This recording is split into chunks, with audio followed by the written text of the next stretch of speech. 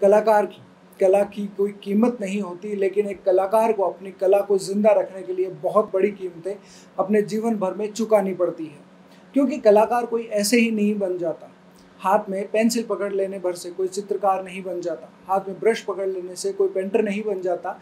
इसके लिए बहुत लंबी साधना करनी पड़ती है, बहुत लंबी तपस्या करनी पड़ती है। तब जाकर आपकी कला का जमाना दीवाना होता है। तब जाकर आपकी कला को पहचान मिलती है। आज एक ऐसे ही कलाकार से हम आपको रूबरू करवाने वाले हैं, जिन्होंने अपनी कला को दस साल से भी ज़्यादा का समय दिया है। दिन रात उन्होंने मेहनत करी है और तब जाकर पूरी दुनिया भर में उनकी कला को पहचान मिली है। तो स्वागत करते हैं आर्टिस्ट मनीष ढाका का। आप सीकर ज़िला के छोटे से गाँव हिरना के रहने वाले हैं और आज हम बात करेंगे आपकी कला के बारे में, आपकी इस कला को लेकर संघर्ष के बारे में। तो मनीष जी, आपका बहुत बहुत स्वागत है सीकर संदेश के इस मंच पर। बहुत बहुत धन्यवाद सर, जो आपने अपना कीमती समय निकाला और यहाँ पधारे और मेरी कला को लोगों तक पहुँचाने की भरपूर प्रयास कर रहे हमें यहाँ कर बहुत अच्छा लगा और हमने देखा कि आपका पूरा कमरा ही मतलब आपकी न्यूज़, आपके अवार्ड्स, आपके मेडल से अटा पड़ा है। तो इसके पीछे की कहानी क्या है? ये सब तो आज हमारे दर्शक भी देख रहे हैं, हम भी देख रहे हैं। लेकिन मैं जानना चाहता हूँ कि ये सब शुरू कहाँ से हुआ?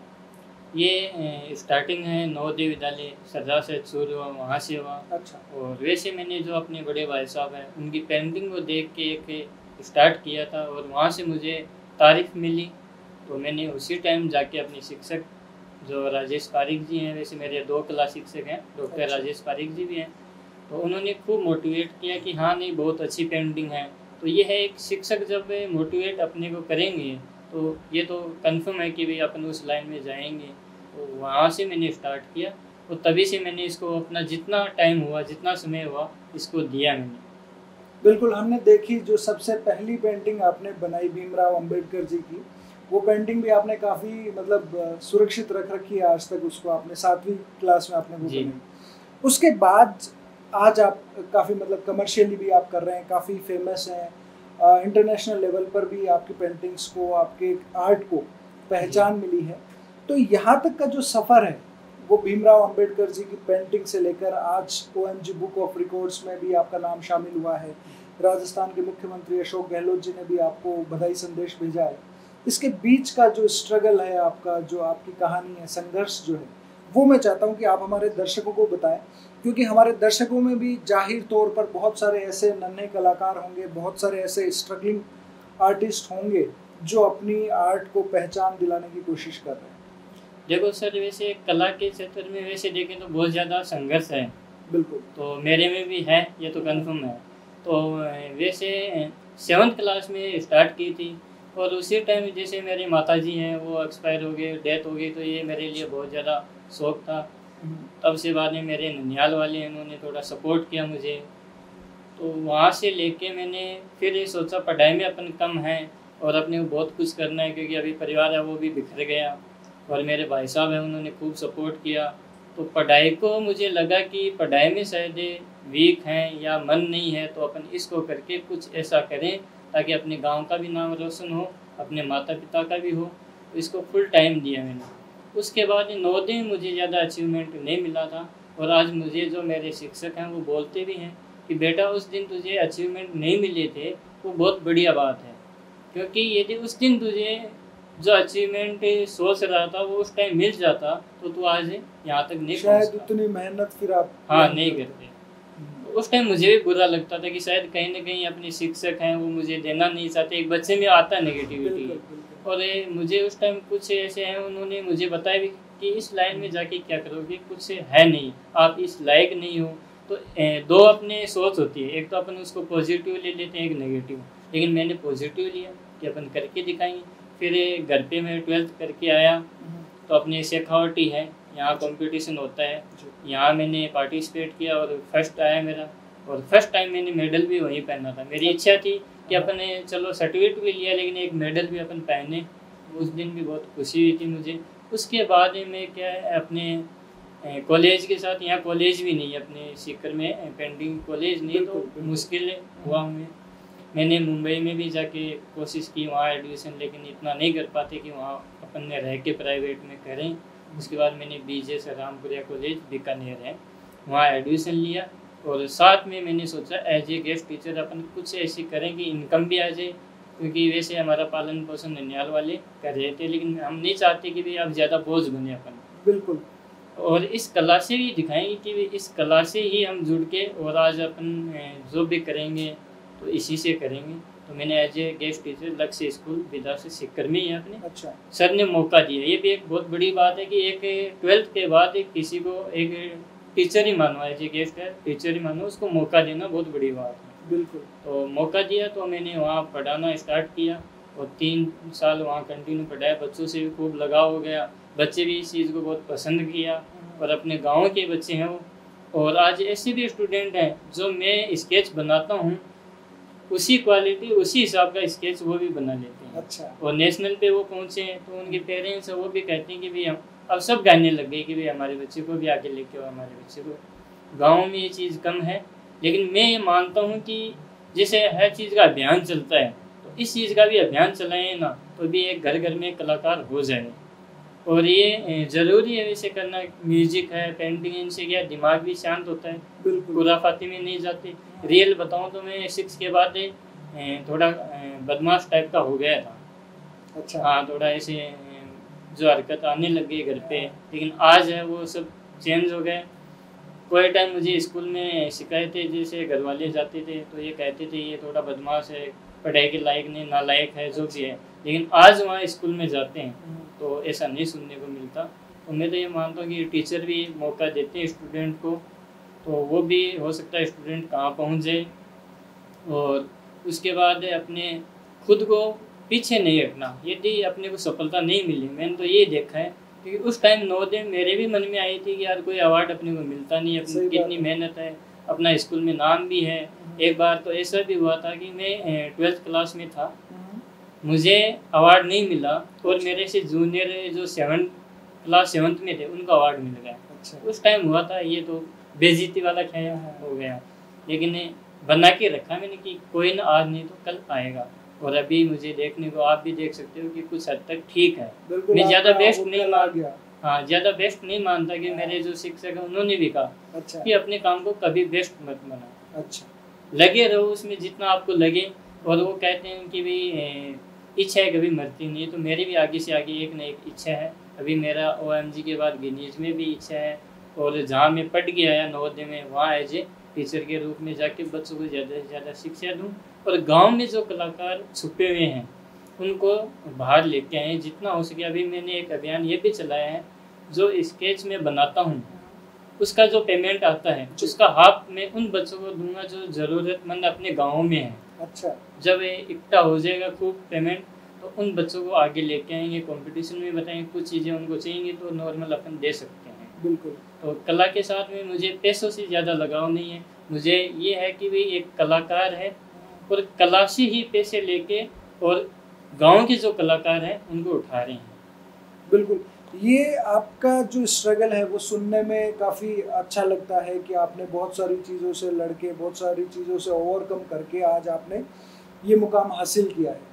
लेकिन अपने शेखावाटी में हम देखें तो मतलब ज़्यादातर पेरेंट्स है वो अपने बच्चों को डॉक्टर इंजीनियर या गवर्नमेंट जॉब में इसी तरीके से सक्सेसफुल देखते हैं।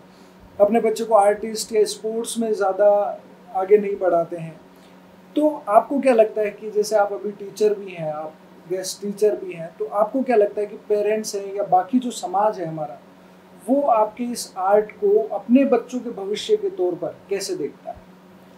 पहले तो जितने भी पेरेंट्स हैं उनको मैं ये कहना चाहूँगा हाँ पेरेंट्स में डर होता है कि ये बच्चा कुछ इस चीज़ में नहीं चला जाए जहाँ कोई भविष्य नहीं है। और फ़र्स्ट में तो ये बताऊँगा कि इसमें है। स्कोप है बहुत ज़्यादा है। अच्छा। ऐसा नहीं कि नहीं है जैसे पहले स्टार्टिंग में आया था कि बी पी जो पीटी में होता है वो कम लोग थे। अच्छा। लेकिन अब अचानक एक ऐसा भी आया कि लगभग जो बी पी एड कर रखे थे वो स्टूडेंट जॉब में लग गए। तो एक दिन ये भी होगा कि जितने भी बी एफ़ ए कर रखा है इसमें बी एफ़ ए होता है। जी। तो ये लोग भी कहीं ना कहीं सेट हो जाएँगे। और ये राजस्थान की बात करूँ कि सेट हो जाएँगे। बाकी तो इसमें सेंटर में खूब जॉब है। अच्छा। अपने दिल्ली जो स्कूल है गवर्नमेंट उसमें वैकेंसी आती है। नवोदय में है सैनिक में है सब जगह स्कोप है। और पेरेंट्स हैं एक बार उनको लगे कि भाई अपना बच्चा गेम्स में है तो एक बार मौका देने की कोशिश करें उसको। पढ़ाई से ज़्यादा यदि लगता हो उसमें कर पाए तो मौका दें। पेंटिंग में है तो या तो उन लोगों से मिलवाए उनको जो इस क्षेत्र में है पेंटिंग से है। उनसे जाके वो भी मिले कि भाई इसमें स्कोप है कि नहीं है मेरा बच्चा इसमें जाना चाहता है। तो इस हिसाब से एक बार बच्चों की भी सुननी चाहिए। और यदि पेरेंट्स नहीं मानते हैं तो बच्चे हैं उनके सामने जिद नहीं करें कि भाई ये है वो है उनको धीरे धीरे करके दिखाएँ। खुद को प्रूव करके हाँ, दिखाने की अपन यदि ये लगता है कि कहने से ये नहीं समझेंगे करेंगे तो उनको कुछ करके दिखाए। जैसे मेरे साथ में हुआ था ट्वेल्थ करने के बाद मेरा एडमिशन ने करवा दिया था एचआई में। हेयरिंग इम्पेयरमेंट अपनी सिक्कर में है डिप्लोमा होता है। अच्छा। जो बच्चे सुन नहीं पाते स्पेशल शिक्षक जिनको बोलते हैं हम्म। कि भाई यहाँ एडमिशन करवाते हैं दो साल में कंप्लीट हो जाएगी और ये जॉब लग जाएगा। अच्छा। लेकिन वहाँ में ज़्यादा नहीं टिका फ़ीस भी खूब लगी थी नाना जी ने दिया था तो उनको दुख भी होता है कि भाई एक तो हम पचास हज़ार रुपये फ़ीस दे रहे हैं और ये बीच में छोड़ के आ गया। मेरे नहीं सेट हुआ मैं छोड़ के आ गया बीच में। और मैंने पेंटिंग को ही रखा। अच्छा। तो इस चीज़ पे अपन बने रहेंगे कुछ अपने ये नहीं कि भी घर वालों के साथ में बदतमीजी करें शांति से। हम्म। उनको प्रूफ करके दिखाएँ। तो आज मैंने कुछ जितना भी किया है तो आज घर वाले भी खुश हैं इस चीज़ को मानते हैं कि चलो ये ठीक है अब कर लेगा अपना। बिल्कुल सही। और मैं तो घर वालों को भी ये कहता हूँ कि पैसा कुछ नहीं है। हाँ पैसा अपनी ज़रूरतमंद जितनी मूलभूत आवश्यकता है उतना होना चाहिए। लेकिन इतना भी पागल नहीं हो। लेकिन सबसे बड़ा मैं मानता हूँ कि नाम है बढ़िया नाम है तो बहुत कुछ है। आज यदि अपने यहाँ दुनिया से चले भी जाएँगे तो लोग याद करेंगे और मेरे लिए वो सबसे बड़ी बात है मैं ये चाहता हूँ। बिल्कुल सही है दुनिया में लोग आपको याद करेंगे। जैसे एम एफ़ हुसैन साहब के बारे में आपने बताया कि जब वो दुनिया से गए तो उनके एक आर्टिकल ने आपको बहुत मोटिवेट किया। जी 2011 की बात है 11 बारह की बात है। उस टाइम मैंने वो आर्टिकल पढ़ा था कि वे एक ऐसा आर्टिस्ट है जो पेंटिंग के माध्यम से इतने पैसे कमाए हैं और इतना उनका नाम है उस टाइम उनके पास फिफ्टी लग्जरी गाड़ियाँ। अच्छा। तो आप सोच सकते हो कितना और फरारी गाड़ी वो भी अपने इंडिया में वही लेके आए थे फ़र्स्ट टाइम अच्छा। और उन्होंने मतलब जितने बड़े एक्टर हैं उनके साथ भी काम किया है। तो एक आर्टिस्ट होके इतना कर सकते हैं तो अपन क्यों नहीं? बिल्कुल जैसे हम यहाँ पे देख पा रहे हैं काफ़ी सारे अवार्ड्स हैं काफ़ी रिकग्निशन आपको मिली है। तो आप अपने आर्ट के बारे में आप हमें बताएँ कि आपका आर्ट कैसा है कैसा डिफरेंट है क्या आपने उसमें अलग किया है? वैसे सभी जो आर्टिस्ट हैं उनका काम है अलग होता है सबसे अलग हटके होता है किसी का कॉपी नहीं होता है। कॉपी वो होता है जैसे किसी का स्केच बनाया वो एक अलग चीज़ है वो देखें। लेकिन जहाँ अपन एग्जीबिशन लगाते हैं दिल्ली मुंबई जो आर्ट सेल होती हैं। ज़्यादा प्राइस में तो उनका ये होता है सबकी अलग डिफरेंट कोई कॉपी वर्क नहीं होता। तो मेरी जो आर्ट है वो भी डिफरेंट है सबसे अलग हटके हैं। मेरी जो पेंटिंग है मेरे जो शिक्षक हैं वो भी बोलते हैं जिन्होंने विज़िट किया उन्होंने भी ये बताया कि आपका जो कलर कॉम्बिनेशन है वो बेस्ट है। अच्छा। तो और मेरी जो पेंटिंग है मैं सब्जेक्ट एक लेता हूँ जैसे इंडिया कल्चर है वो ले लिया म्यूज़िक पे ले लिया मैंने। हाँ। तो उसको क्या मैं फोर पार्ट में डिवाइड करके बनाता हूँ पेंटिंग को फोर पार्ट में। और अभी जो मैंने थोड़ा चेंज किया वो सर्किल बनाता हूँ बीच में। फोर पार्ट हो गए सर्किल हो गया उस सर्किल में जैसे इंडिया का कल्चर उठा है म्यूज़िक का तो मैंने सेंटर में म्यूज़िक के कुछ इंस्ट्रूमेंट हैं, वो रख दिए, बना दिए और इंडिया गेट बना दिया। तो इससे क्या होता है कि इंडिया से रिलेटेड पेंटिंग है। उसमें बाद कुछ फिगर अपन बना देंगे, जो अपनी पहली पुरानी पेंटिंग ही है, उनमें उस टाइप के बने हुए होते हैं, वो मैं सेट कर देता हूँ। एक्रेलिक ऑन कैनवास पे बनाता हूँ और टेक्सचर होता है एक अपने जो उभार देता है पेंटिंग में, वो भी देता हूँ। एक मेरी पेंटिंग में एक राइट साइड या लेफ़्ट साइड में कहीं ऊपर की साइड में वॉल मिलेगी। अच्छा। जो अपने दिवाला जिसको बोलते हैं उस टाइप का वो सभी पेंटिंग में मिलती है। उससे क्या थोड़ा थ्री इफ़ेक्ट आता है वो आगे की साइड और जो फिगर में बनाता हूँ थोड़ा पीछे। तो एक पे मॉडर्न आर्ट कुछ अलग हटके हो जाता है। ये क्या अपने आप जब अपने काम करेंगे तो कुछ न कुछ नया आता है रहता है। बिल्कुल सही है।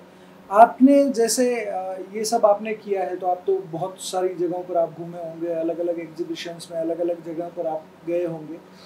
तो उससे जुड़ा कोई किस्सा आप हमारे व्यूवर्स के साथ में शेयर करें कि कहीं आप गए और आपको बहुत अच्छा कुछ सुनने को मिला या आपको कोई आपके आर्ट को लेकर कोई क्रिटिसिज्म मिला या ऐसा कुछ भी?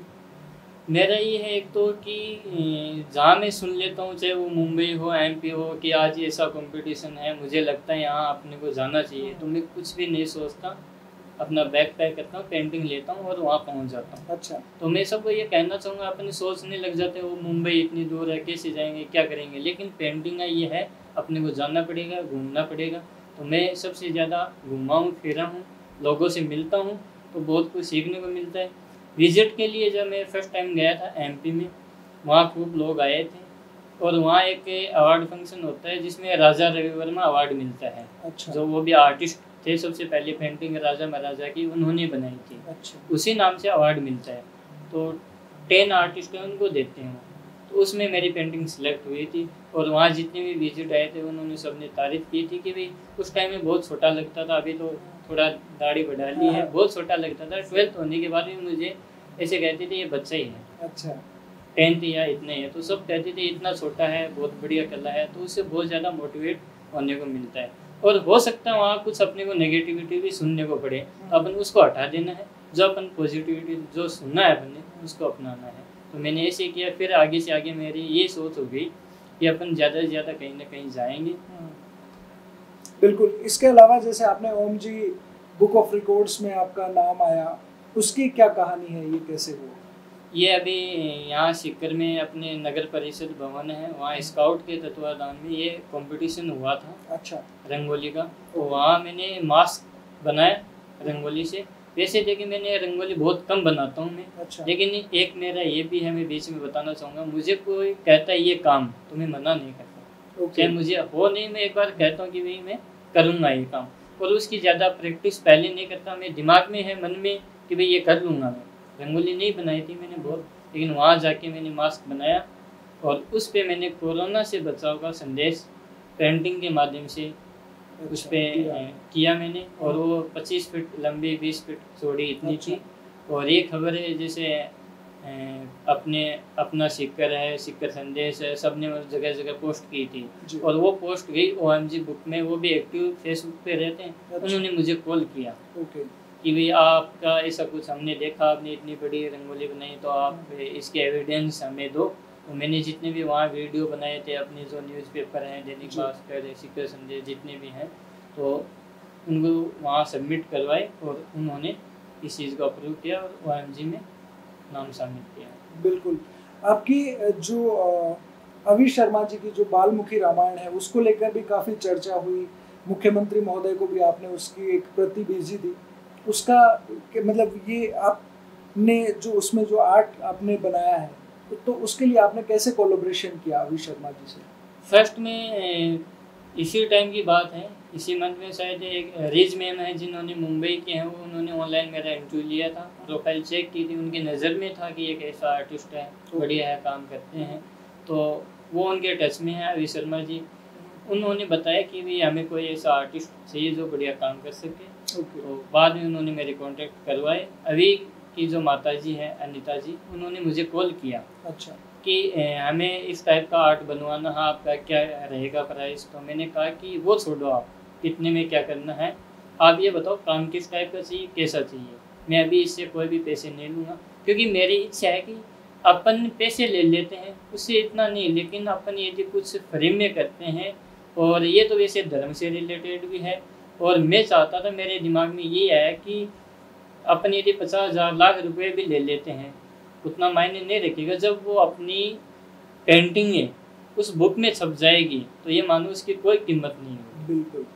कोई कीमत नहीं आज उसकी कोई कीमत नहीं क्योंकि जहाँ जहाँ ये बुक जाएगी अभी के साथ साथ में मेरा भी नाम जाएगा। तो मैंने हाँ कर दी और उनको शायद एक महीने में मैंने वो बहुत बारीक काम था ब्लैक पेन से जो अपनी जेल ब्लैक पेन आता है उससे मैंने उस काम को किया। उसमें ट्वेंटी टू पेंटिंग है तो उन्होंने काम भी बहुत पसंद आया। अच्छा। और उन्होंने मेरे लिए बहुत बड़ा अचीवमेंट है कि एक बुक में अब वो जहाँ जाएगी तो साथ में अपना काम भी जाएगा। और उन्होंने हाँ। अभी जी ने भी उस बुक में लिखा भी है खास अच्छा। आभार मनीष डाका भाई का जिन्होंने इसमें एक पैसा भी नहीं लिया। तो मैं अभी जी को भी बहुत बहुत धन्यवाद देता हूँ कि वो पैसा नहीं लिया लेकिन उससे ज़्यादा उन्होंने दे दिया मुझे। और उसी से मैंने इस बुक को अपने सीएम सर है उनको भेजा। तो उन्होंने भी पूरा पढ़ के पूरा उसमें अपने लेटर उसमें लिखा भी कि भी आपने ब्लैक पेन से बनाए हैं बहुत बढ़िया बनाए हैं और आप राजस्थान का नाम आगे लेके जाओगे तो एक कलाकार के लिए और क्या चाहिए? बिल्कुल जब अपने स्टेट के जो सीएम हैं वो यदि अपने काम को पसंद करके और एक पत्र देते हैं तो बहुत बड़ा अचीवमेंट है। बिल्कुल सही है। कलाकार को उसकी कला का असली मेहनत मेहनताना तभी मिलता है जब लोग उसे अप्रिशिएट करें। तो मैं चाहता हूँ कि आपसे हमने काफ़ी सारी बातें करी, आपने कि अपने कीमती समय में से हमें समय दिया।